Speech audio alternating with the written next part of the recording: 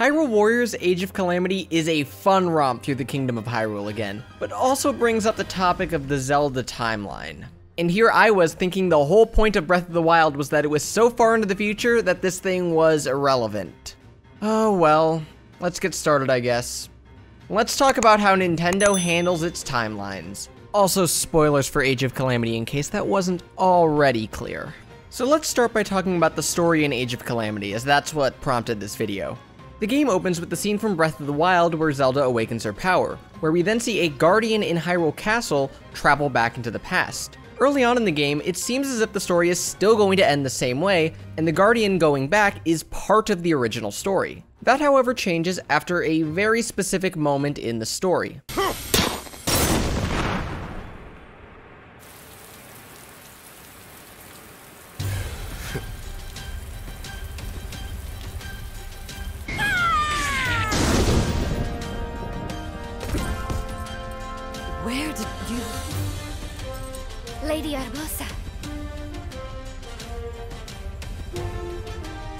Does that moment look familiar to anybody?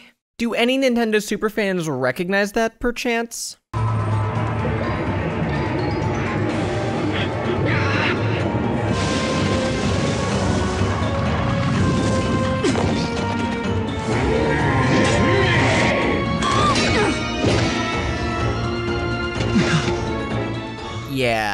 The game kinda does the same thing that Fire Emblem Awakening does. It was kind of necessary though, given it's a Warriors game and they needed to pad out the roster a little bit more than just what they had already. As you can probably already tell, this point marks a drastic shift in the narrative from what we knew in Breath of the Wild. Not only do we see the four champions survive, but Zelda's powers awaken earlier, allowing her to seal the Calamity successfully.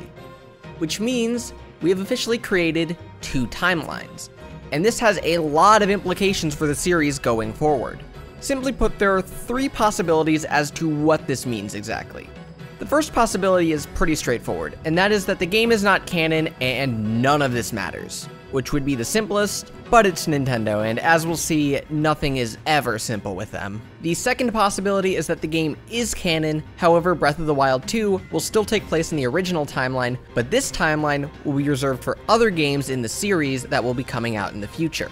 And the third possibility that could have the most impact on the series going forward is that Breath of the Wild 2 takes place in this new timeline. There will likely be a ton of speculation about this in the coming days, but that's not what I want to talk about today. I want to talk about the idea of canon and how various video game franchises, in particular Nintendo franchises, handle their timelines. So first we need to start out by asking the question of what is canon? So the term originates in reference to religious texts, most notably in religions such as Judaism and Christianity. The term is used to differentiate between canon texts, which are considered to be the divinely inspired word of God, and apocryphal texts, which are considered to be written by man and have no divine inspiration whatsoever. The term was first applied to fiction in reference to Sherlock Holmes stories, or at least that's what everything I found on the internet leads me to believe. I was unable to find any reliable sources to confirm this as I wasn't able to backtrace any sources given by wikis to the actual information itself. So we're just gonna have to take people at their word for this. It also technically doesn't matter for my broader point whether or not this was the first instance of this term being used in fiction. Here the term is used to refer to the 56 short stories and 4 novels written by Sir Arthur Conan Doyle, whereas non-canon is used to refer to stories written by other authors using the same characters and from there the term has been used to apply to virtually any fictional universe with multiple stories. Something being canon means that all the other stories have to follow the events of what happens in that story. Arguably the most famous and extensive canon is the one that the Star Wars series had. Prior to their acquisition by Disney, there was the Expanded Universe, which was a collection of books, comics, video games, animated TV shows, and other things that corroborated the story of the original six movies. What's notable here is that many of these creations were licensed, and George Lucas had very little to no input in their creation. However, an employee at Lucasfilm, Leland Chee, managed something known as the Holocron Continuity Database to track every element that these stories introduced. However, George Lucas never truly considered these stories to be canon. According to an article published on the Star Wars website in 2014, While Lucasfilm always strived to keep the stories created for the EU consistent with our film and television content, as well as internally consistent, Lucas always made it clear that he was not beholden to the EU. He set the films he created as the canon. This includes the six Star Wars episodes, and the many hours of content he developed and produced in Star Wars The Clone Wars. These stories are the immovable objects of Star Wars history, the characters and events to which all other tales must align. So in essence, these stories weren't so much canon as they were in some sort of nebulous gray zone. They were true so long as they didn't contradict anything that happened in the movies or animated TV shows. Of course, none of this really matters anymore because Disney has officially declared all these stories as non-canon as part of the Star Wars Legend rebranding. I bring this up because of the sheer volume of content means that it represents a microcosm of some of the issues that you can have with the concept of canon.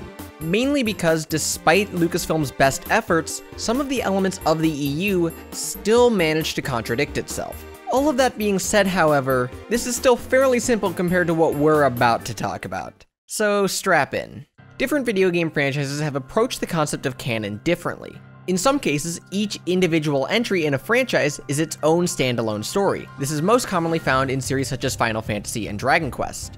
Each story happens in its own world, and you don't have to know the events of any of the other games to enjoy it. The Persona series does something fairly similar.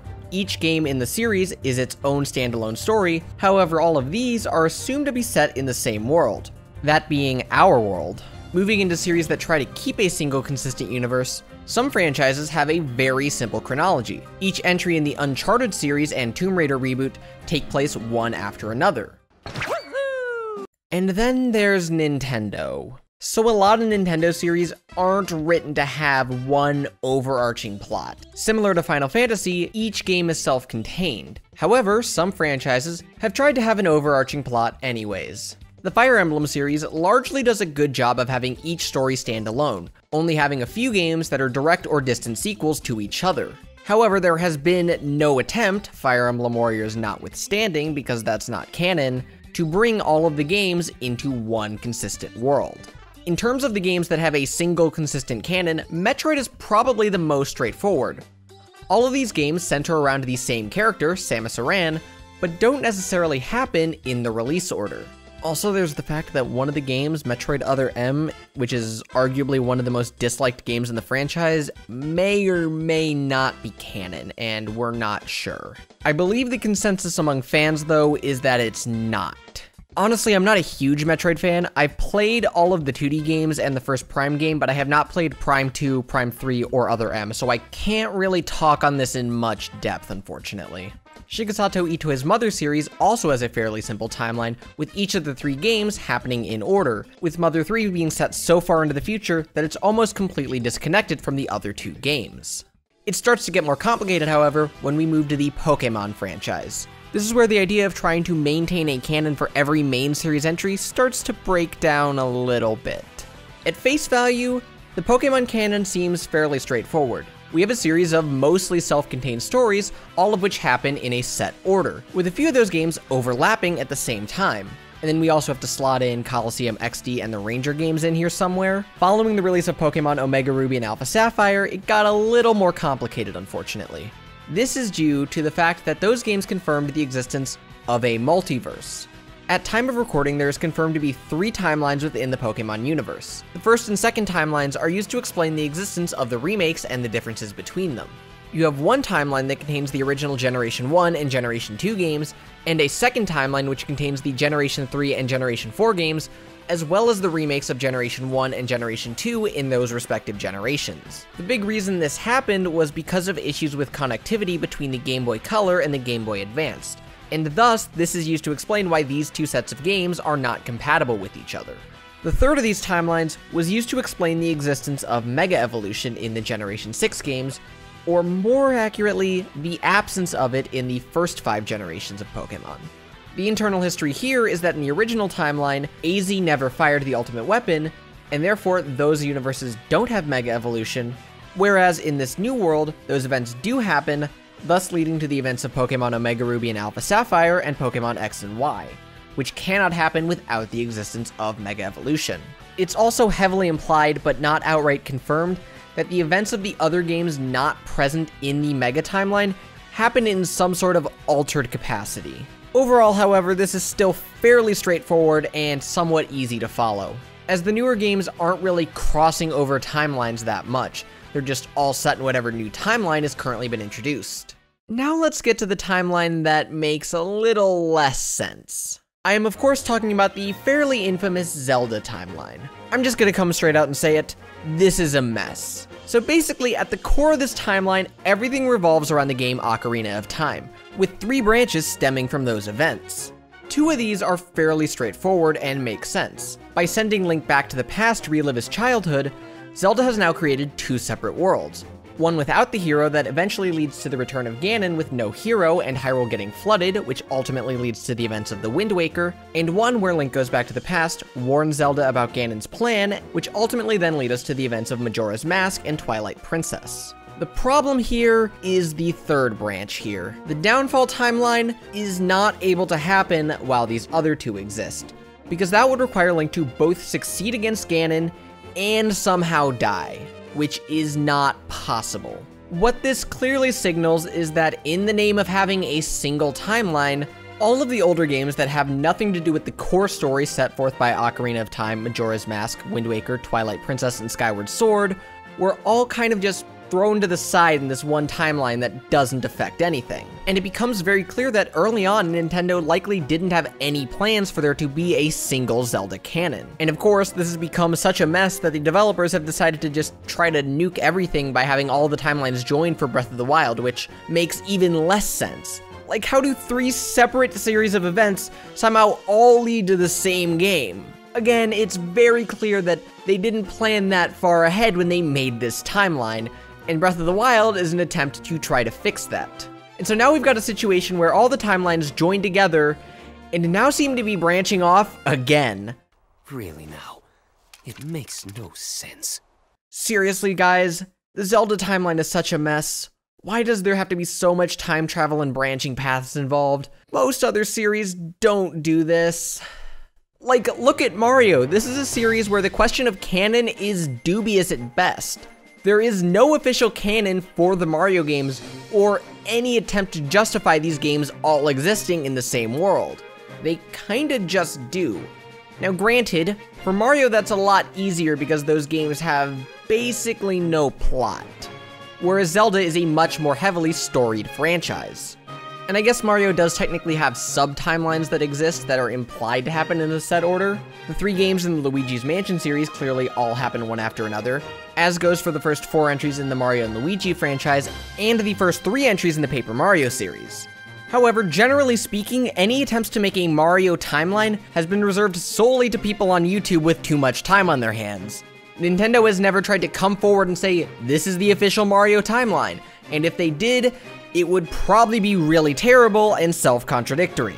One, because the timeline they already made for the Legend of Zelda series already makes no sense, and the fact that there are just so many Mario games that there's no way that they would all cleanly fit together.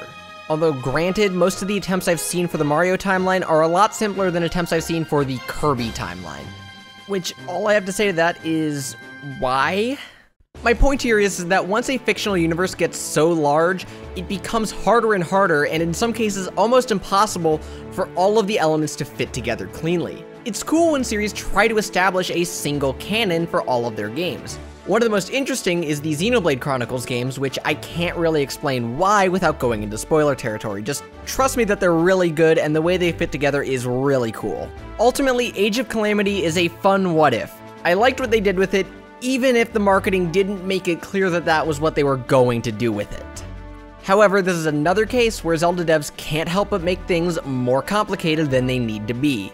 Seriously, I love this series, but anytime I've had to try to explain this to my friends, they look at me like I have three heads. Anyways, I think I'm just gonna end this video here before I get more off track. If you enjoyed this video, go ahead and leave a like, and while you're at it, why not subscribe and ring the bell so you get notified every time I upload a new video? Lastly, I want to hear from you guys. What do you think is the most complicated video game canon? My money's half of you are going to say Kingdom Hearts.